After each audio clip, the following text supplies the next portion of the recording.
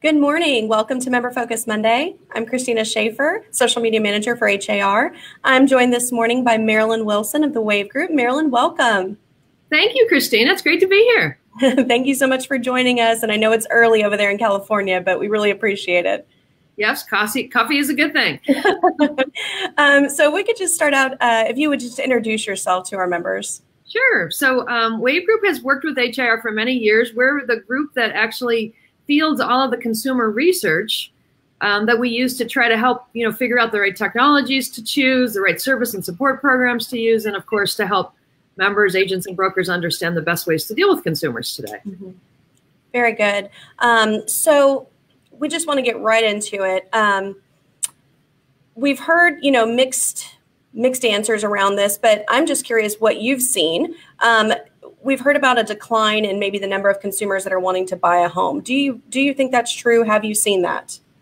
You know, I'm happy to say that no, I have not seen that. Um, I, that's kind of the general perception. People like to say that that's what's happening, and the truth is that's not what's happening at all. And in fact, where it's the most interesting is with millennials. Mm-hmm. That's where a lot of people say, "Oh, you know, they're not going to buy anymore, and they're just going to rent." The truth is, they're more interested in buying than even older generations are, which is awesome. Wow, yeah. Um, the, the one thing, of course, that they they worry about is being able to afford the down payment, because of, of many of you have have been in that world and know how much you can uh, accrue in debt from being in college. Mm-hmm. That's their biggest worry. So many of them say that they're going to count on their parents for getting the down payment, and I'm sure many of them do. I know I probably do that when my child's ready. Um, but they also talk about the fact that they appreciate um, some of the work that HAR has, where you have there's pages where you can look for the down payment assistance programs available. Mm-hmm. So they're very excited when you can do that. And I'll give you a little uh, little quip. And this is not from Houston, but something you guys could definitely use. I was working with a gentleman in Alabama, and he promoted down payment assistance programs via Facebook. In fact, he had an ad that said, looking for free $7,500 you can use for a down payment. And of course, everyone's looking for that, right? He actually sold 17 homes off of that ad because he had information about down payments. Mm-hmm. So definitely something for people to look at. Yeah, I actually know of locally a realtor who just started running ads about that uh, $15,000, free $15,000. Mm-hmm. And she has all kinds of information about it. Um, so I'm, I'll, be, I'll have to ask her how that worked out for her. Absolutely. It's a, yeah. it's a great idea. And we all know Facebook ads are very affordable. So it's a great way to give it a shot. Sure. Um, well, so that's, I mean, that's encouraging to hear that although mm-hmm. the perspective is that maybe millennials specifically don't want to buy a home, you're not finding that's true. It's really that they just need, you know, the resources to be able to buy that home.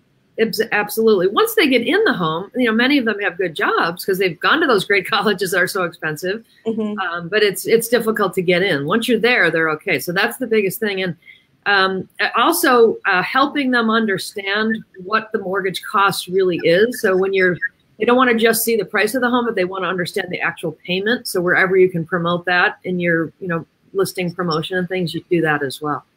Very good. So I wanted, uh, we've spoken a lot about iBuyers on this platform and just trying, mm-hmm. trying to help our members understand that, um, you know, that, that whole concept.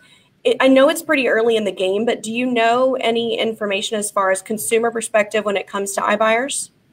Well, we're just about to field a study on that in, in Houston, so we're going to know a lot more soon. But what we what we found so far is that um, there's kind of a particular demographic where it works best. It works best in areas that have many, as you know, some people would sort of call cookie cutter homes, and developments where homes are very, very similar and very predictable. Mm-hmm. Um, it generally, um, home buyers are going for the lower price points, so maybe the 180 to 200 ish range mm-hmm. is where it's most popular.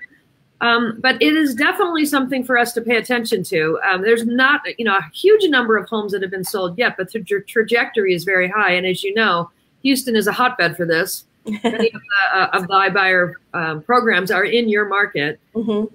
Um, so it's something, you know, the way kind of I look at it is there's going to be some level of, of people that want to do that. The best thing to think about is to try to make your home selling process as simple as possible and take on as much of a role as you can to support someone in finding a painter or getting someone to do some landscaping in the front to clean it up or whatever the kinds of things that they need. Um, it certainly it's still going to be more work than handing someone a key and not doing any work. Um, but it's you know definitely think about that. And also remind people that the fees that people pay for iBuyers are higher than they are when they work with a regular realtor. Right. Um, so that's that's important to remember but uh, they're not going away. There's a lot of money behind them and uh, it's definitely something we're going to have to work our way through as an industry for sure we had Jeremy Conaway on recently, and he was uh, we were discussing iBuyers, and he really was emphasizing um, you know, for our members to create a value proposition. And, and I think that you could probably agree that that's that's really where there's uh, room to improve for a lot of agents because we're just not used to these iBuyers and maybe we're looking at them from a from a way like oh I need to do something about this but really we need to kind of internalize and create that value proposition i think is probably the best solution absolutely and one of the things that i would highly recommend that we've seen in research many times and we actually two things that we, we kind of forget and we kind of take for granted. One is if you're an agent and you've gone through many transactions, the process to you is relatively, I wouldn't say comfortable, but it's relatively predictable, right? Mm-hmm. Consumers don't have that experience. And so, to the degree that you can come to them at the very beginning of the transaction and explain to them everything that's going to happen, and then, of course, keep in touch with them as as the process is going through it, Mm-hmm. That can make a big difference. Also, remember to use the online transaction management system available through HAR mm-hmm. because they want transparency. You know, it's two o'clock in the morning and they wake up and they're worried. They want to be able to go on and see where everything is. yeah. That that's really important to remember that they haven't done it. And here's another. This is a little bit of an aside, but something that always amazes me. I was talking to a um, an agent in Florida. She had a thirty million dollar listing she was going after. Everybody likes those, of course she lost the listing. The reason she lost the listing was because the other agent told them, told, told the seller that she was going to put it on the MLS.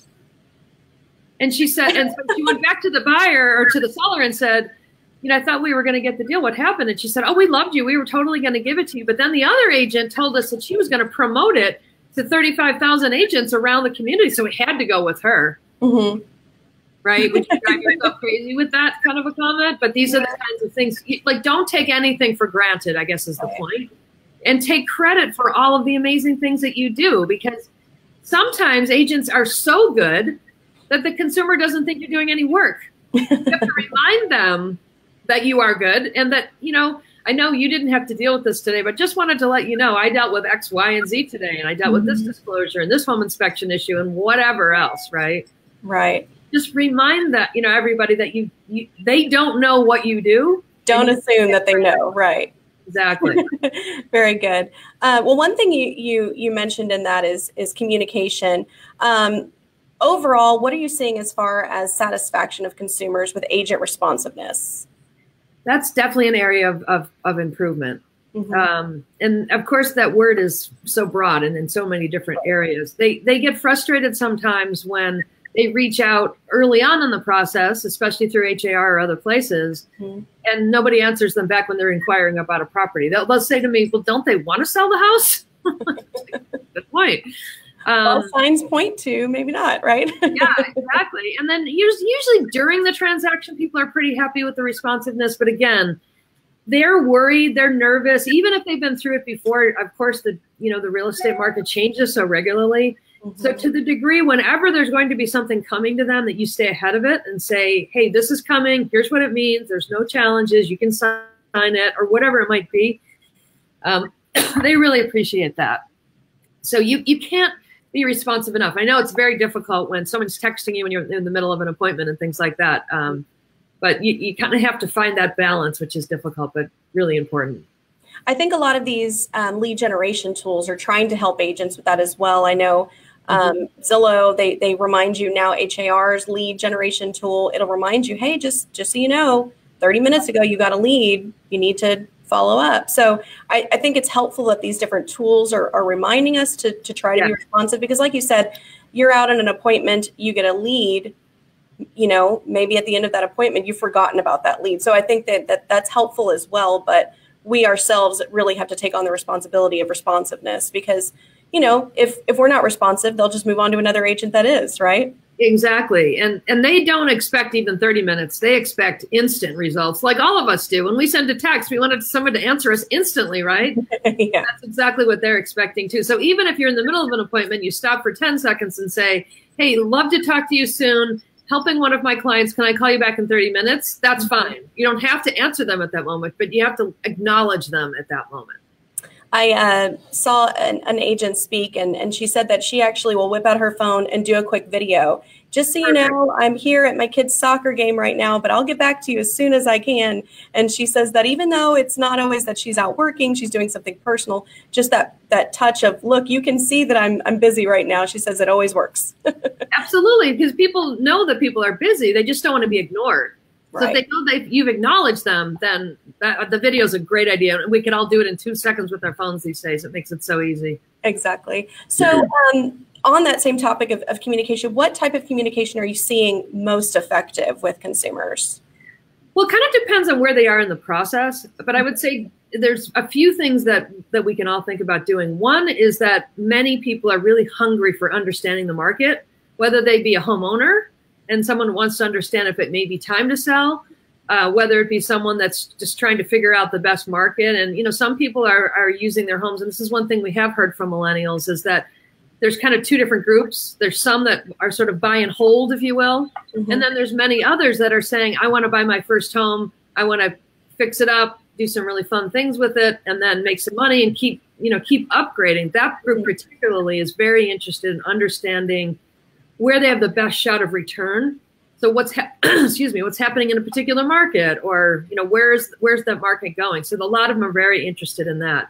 Mm-hmm. Um, they're also very interested in, in, understanding that you understand the depth of the of the valuation you're providing to their home if they're if you're doing a CMA for them. Mm-hmm. So the more professional, and the more information that you leverage. Again, HA offers all kinds of tools to do that. Mm-hmm. Um, they, they basically, I think, net net, they're trying to think of this more as a it's it's emotional of course but they also want to look at the business aspect of this because it's such a large investment. And so to the degree we position ourselves as business executives and and people that have a depth of understanding of the market in which we're operating um, you know it's not enough to just be friendly anymore even though millennials one of the things they like the best is when someone is friendly. Someone some of them say they even want to like be friends and go out and have dinner with their with their agents right um, but they're definitely looking for us to step up our game in terms of not just being salespeople, but truly being almost like counselors or consultants. Yeah. Um, something else related to consumers. What uh, what type of advertising? We mentioned Facebook ads. You said they're they're pretty inexpensive, but what type of advertising do you see working best with consumers? Is, is a Facebook ad effective? Is a billboard effective? You know, what, what are you seeing as most effective? Well, certainly Facebook is very effective. Um, and in, in Houston, one of the things that um, I, I, know many of you know this, but just to underline this, the Houston Association of Realtors website, or now homesandrentals.com, is the 10th largest website in real estate in the entire country, mm-hmm. which is amazing. There's no other MLS in the entire country that's even close to that number. And so, interestingly, 98% of the people that we talk to talk about the fact they want their home promoted on har.com. Mm-hmm. So number one, by far the best thing you can do is to make sure they understand that it's on har.com. right. Um, and that again, that's not normal in any other market in the entire country. So it's something all of you have as a unique skill or a unique uh, advantage. Mm-hmm. Of course, others appreciate things like Zillow, and they appreciate uh, certainly Facebook and other social media types of things. I think consumers, even Instagram now is getting very, very popular. People understand the visual mediums are a great way to promote homes mm-hmm. and a mm-hmm. great way place for them to find homes as well. But HAR by far in your market, number one. Yeah. Um, so what we, we talked a little bit about iBuyers and maybe value propositions. What do you think consumers are looking for in a realtor? They're really looking for a partner, I guess would be the best way I would describe it. They're looking for someone that um, has the proven expertise and yet still has the enthusiasm to work with them. Here's a great example. There was a, a, a, client who had a very successful transaction with an agent, and when her experience rating came back, it wasn't very positive. Mm. And you know, the, the question was why. So the agent was very upset. So luckily she called the person and she said, You were amazing through the entire transaction. You were there for me. You were supportive. You were educational. You told me everything to do. But then when we got to the closing table, you were talking to the other agent about what you were going to eat for lunch. You weren't paying attention to the most important thing in my life at this moment, right? so we have to remember that just keep it fresh. Like it is our first. It, it, it is our first in terms of enthusiasm, but it is definitely not our first in terms of experience. Right. So that's important. And and back to client experience rating, that is also something that many of them look for. They look for what have you done in the past? Who have you done it with? In what markets? Um, that's a really important program to, to participate in. In fact, in the research we did about two years ago, we found that one third of the people that had bought homes had looked at the client experience rating and, and had not so much found their agent there, but had confirmed that they were a good agent there. So if you're not on that program, definitely get on it. It's really helpful. Yeah, and you might be surprised to hear this, Marilyn. We have currently about 39,000 members, and only about 5,000 of them are utilizing that tool. So it's it's That's definitely the, the 5,000 that are utilizing it are probably seeing um, some good interaction with consumers, but for the rest of them, it might be something they consider. Absolutely. And, You know, and I think a couple of things on that. One of the things that people I think worry about, maybe for the, the 34 that are not on it, mm-hmm. that at some point I might get some sort of a negative rating, right? Um, the truth is about 97% of them, or maybe it's not that high up, 92, I think it is, are mm-hmm. completely positive. Mm-hmm. So the chances of getting that are very, very low. But also, if you do have, and not necessarily like terrible, but you know, we've we all know transactions don't all go perfectly. Mm-hmm. Um, if there's a little bit of feedback that's honest, um, sometimes that actually, from a consumer perspective, makes them more credible. Because if you go to a place and everything is, I got 100% ratings and everything's amazing, they feel like the system's sort of being gamed. yeah. Um, and the other thing is that some people are worried because they may only have, you know, two or three transactions. That doesn't matter. Mm-hmm. If you're, especially if you're younger into the game, but you've had great experience and you can demonstrate that you promote yourself well on Facebook or on HAR or other places. Mm-hmm. Consumers are okay with that because many of them are young and new in their careers as well. So mm-hmm. don't be afraid of it. It's a it's by far one of the most important tools that you should use today to help with consumers. Great. So what we know what they're looking for in a realtor, but what are they looking for in a home? Um, and and I know we we mentioned millennials earlier. What, uh, but different demographics. What do you think they're looking for in a home?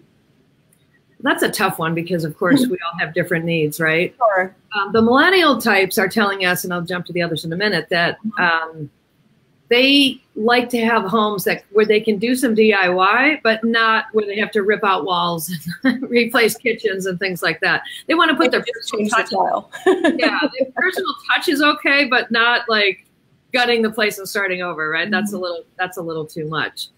Um, you know, many people are, are I, I, think people are getting a little more practical about their homes. They're they're really looking for things that are going to make them their family comfortable, but they're also not even looking for the home as much as the location of the home. Mm-hmm. So is it close to the you know the church I prefer? I'm I'm a big Trader Joe's fan. I'd never live more than five miles away from a Trader Joe's. um, you know, we, we, all have our. It's kind of getting to be more lifestyle than it is just the home itself. Mm-hmm we had the era where everybody was just trying to make bigger and bigger and bigger and bigger homes, sort of the McMansions, as some people call them. Right. Um, it's not as much that now as I think it is more practicality, um, comfort, uh, warmth, and and in some demographics, um, guest houses or guest quarters are becoming more important. I'm, I have I'm an example of that, where you have your parents that are now going to be living with you because they're elderly and. Mm-hmm support. And then sometimes those become the places where your college kids that can't afford to own a house yet live after the fact, right? right. So those kinds of sec, you know, sort of dual family approaches are getting very popular as well. Okay, I'm going to take a look to see if we have any questions from our members. If you have a question for Marilyn, go ahead and type it into the comments. Uh, just take a look and see what we have so far. So, um, Stephen just had a comment here. He said the clients that think realtors are just door openers are the ones that require the most work. um, but I think he probably means in just convincing them, like you said, explain what you're doing. You know, somebody right. lost a client because they didn't realize it was going to go in the MLS, right? So explaining all of the different things that you're doing to benefit that um, client right? To to make them understand Yeah. that. And here, here's a different thing, and this is something that realtors generally are very positive people, and they don't think about this necessarily, but this is something that can be really helpful. Sometimes things go wrong in transactions, right? We all know that, and sometimes if you can talk about something that did go wrong, but more more importantly, what you did fix it, hmm and how because you learned that lesson or that you've seen something happen that that won't happen with them, that can really generate a lot of credibility. You know someone that's an iBuyer, that's such a very flat process right? You send in information they decide yes or no and the way you go. There's a lot more to it than that as we all know Mhm. um, so to the degree you can share not only the positive things and all of the amazing experience you've had but the things where you've seen it gone wrong and your ability to fix it can give them confidence that if something does go wrong in their transaction you're going to be there for them And I think too that that would help also with future clients as well. I mean, we were just talking about online reviews. If you're explaining this obstacle you had to overcome, yes they're going to tell their friends and family about it. They might put it in the in the online review they give you after the fact and and explain how you you know overcame this obstacle. The the deal almost didn't go through, and then you know Marilyn fixed it, right? save the day um, absolutely yeah, save the day. Yeah. No, that is very, very important. Again, realtors do, are so good at their jobs. They and they don't want to burden their clients with challenges, which I totally understand. But after the fact, once the challenge has been handled, it's not a bad idea to let them know that you took them through something that they weren't even aware of and didn't have to struggle with or, or stress about on their own. Yeah, definitely. Um, so someone asked, actually, Karen asked, uh, how can we get on the mailing list for wa- the WAV Group? Do you do you have a mailing list, Marilyn? We do. In fact, if I, I can just give you my email address, send it to me. You can go to our website, which is wavgroup.com, and you can sign up for the newsletter. Or just if you want to drop me a quick email at Marilyn, M A R I L Y N, at Wave Group or WAV Group, W A V Group.com. I'm happy to add you to our, our newsletter. Very good. Thank you. Okay. Uh, Jennifer said, Do you have any advice on clients that want to look at many, many houses and don't seem to really like any of them? Boy, if I did, I'd be a lot wealthier than I am today. That's a tough one. Um, you know, I mean, I think sometimes maybe it could be the the way you qualify them. And I, I know I, I was one of those when I came to California. So I'm sorry to whoever realtor I may do that. Um, but you know, maybe some more discussion up front with them about you know the kinds of things that are really important, or maybe having them you know go to a site like HIR and just grab a few homes that really catch their eye and help them help you understand. And you know, another thing to use is something like a Houzz. Mhm. Because if you can find like, you know, a lot of people are, are really looking for that that amazing kitchen or that amazing Right. master bedroom or things like that. If they can help you visually understand what they're looking for, um, that can help a lot because then you can do the searching for them and say, I'm not going to invite them to anything that doesn't have a, you know, a granite granite countertop, you know, whatever. There's a million things that people like, or if they they have specific appliances that they really want, or the backyard has to be amazing, or it's all about the pool, or if you can find that out a little bit, sometimes that can help. But unfortunately, I don't think there's any answer for some. Some just want to look at a lot of houses, unfortunately. Um, yeah, Houzz H O U Z Z dot com. If you if you've never used that before, um, they actually let you share idea boards and things like that. So you can create an idea board and share it with your client, or vice versa. And and I think that that's an excellent uh, suggestion to to share information, and so you have a better idea of what they're looking for, and you know maybe they can get a clear more clear idea of what they're looking for if they're just maybe overwhelmed, right? And then the other thing is to qualify kind of what I was talking about earlier about how much work are they willing to put in and, and sort of how much vision do they have? Like we have a house for sale in our neighborhood right now, gorgeous layout, gorgeous view, but it has like wallpaper from 1992 on the wall on the walls, right? So someone that can see past that can say, "Wow, this house has great bones, and I'll be fine." But many consumers cannot see Mhm. through that, as you guys are well aware that are on the call. Um, so if you know that, then just avoid those kind of homes because that's just going to get them frustrated. Just find the ones that are that are closer and fresher and newer. All right. Well, that actually looks like all the um, questions coming in from our members. Do you have anything that you want to add, Marilyn? Um, no, I think uh, you know I, we do a lot of work in technology, and you know I'm sure many of you have embraced technology. But but I, I guess I just would leave it with reminding us all about what makes a realtor amazing, and really what it, what makes them amazing is service. Mm-hmm. Consumers are looking for you to really care about them, to genuinely listen to them, um, and you know, and to really just be there for them.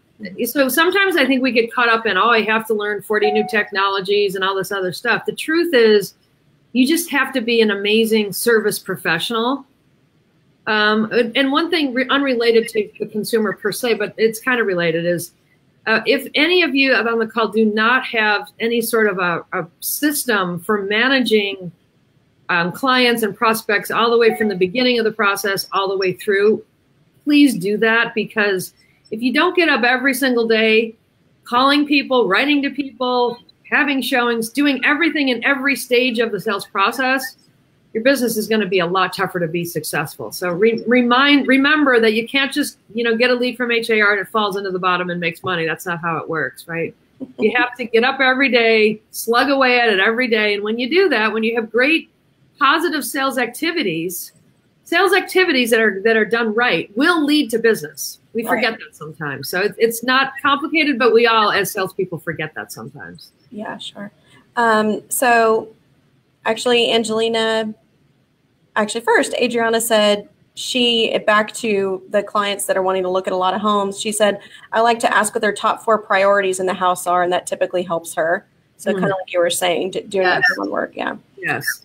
Angelina asked earlier in the conversation, you mentioned that HR has transaction uh, a transaction management tool that, and she was asking, what is that tool? Um, that's actually Transaction Desk, and that is a tool that is free for all HR members to use. So um, definitely check that out. We have classes, webinars, videos, um, all kinds of great resources for you to learn how to use Transaction Desk. Yeah, and consumers love that because you can invite them into the transaction and they can see everything that's happening.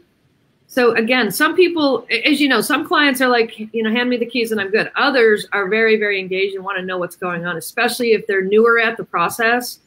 And Transaction Desk makes it really easy to do that. It also connects really well into Matrix. Mm-hmm. So it auto populates a lot of the information. It makes it a lot easier and a lot faster to close a deal. So definitely use Transaction Desk if you don't already. Um, Ginger's asking, what tool uh, do you suggest to use to market to a certain market or niche group? Well, again, HAR has uh, some great things there. Um, mm-hmm. you guys have Realist, correct? Yes, we do. So Realist has some great um, neighborhood level, zip code level prospecting opportunities within it. So mm-hmm. does Matrix. Um, yes. You know, you can you can add you can find people that are in a particular neighborhood in Realist, add them into Matrix, and then provide them ongoing automated, which you don't have to touch, right? Mm-hmm. Automated feedback about what's happening in the market and I believe HAR also offers the Property Watch. Am I correct about that? Um, so we do have access, not to Pro- Property Watch that I'm aware of, but we do have Remine. Um, and actually, there those reports are built into to Matrix as well. So Remine, like you're saying, does provide a lot of that information as well. Remine is amazing. So it can, that can help you not only it can tell do you all different things. So say that a, someone that might want to be thinking about doing investing in real estate, mm-hmm. and they want to understand the market where there's a lot more real estate investors on average, where the, the neighborhood really is friendly to investors, you can pull a report that'll say that. Or if you want to pull somebody that, um, you know, consumers that have been in their homes for more than seven years. So there's a variety of different ways to slice and dice the information. So if you have a question that you want to use for prospecting, or if someone's coming to you asking about the neighborhood, Remine is an incredible tool for that. So if you have not gotten trained on that yet, please do. The other thing that's really neat about it is um, for the um, consumers that are again more data centric, which there's a lot of smart people in Houston that like that kind of thing. Mm-hmm. Um, it has amazing data visualization, so you don't even have to use the words. You can just show them a picture and say, almost like little heat maps that'll say, you know, this neighborhood is really strong at this particular thing, or this, you know, the demographics of this market is younger than another market. All of those kinds of things. So again, if you haven't checked out Remine, definitely do that. It's really helpful for prospecting. Great. Um, Kareem just said, uh, what about social marketing? Uh, so social marketing. Said a little bit earlier, but yeah, there's, there's, I mean, there's a lot of different things you can do there. Certainly, you can go on to Facebook and places like that and buy your own ads. There's products like AdWerx, if any of you haven't seen that, which is great for personal branding. Mm-hmm. Um, what's neat about AdWerx, if you don't know what that is, and um, is if if you have my email address as a as a prospect, it will follow you around. It'll follow me around. So an ad for you will show up on uh, the Wall Street Journal. Then it'll show up on Facebook. Then it'll show up on LinkedIn. Then it'll, it'll show up in a variety of places. And for sellers, they think, wow, they are spending a lot of money promoting my home. So it's a really neat way to build a deeper um, sort of brand awareness, if you will, with people that you're interested in doing business with. Great. All right. Well, that looks like it's about it. Thank you so much, for, Marilyn, for joining us. This has been really helpful. Oh, great. Thank you. Thank you, Christina. and good luck to everybody. Hope you have a great day. All right. Thank you. Um, well, that's it for today. Uh, thank you for joining us. We'll be back same time, same place next Monday. We'll see you then. Bye bye.